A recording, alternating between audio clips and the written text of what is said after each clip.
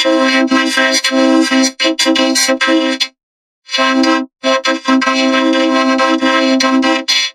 Oh, I just submitted something into the movie station wagon. It's a pretty cool group I just discovered, and they have some pretty neat stuff. Found out, you fucking sheep. You just joined the cult run by the nefarious Busty, who's a torrent and controls the entire Wolfers community as a member of the Illuminati who was here talking about Elise And the admins rejected my sexy British poem from being shown in the wagon. Clearly, that means they are a bunch of online bullies, the likes of which make even anonymous jealous.